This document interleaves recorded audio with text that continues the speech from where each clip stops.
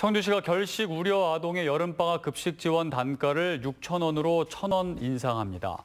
시는 올해 1학기부터 인상된 급식 지원비를 여름방학에도 적용해 3,700여 명에게 한 달간 최대 18만 원의 아동 급식 카드를 지급할 계획입니다.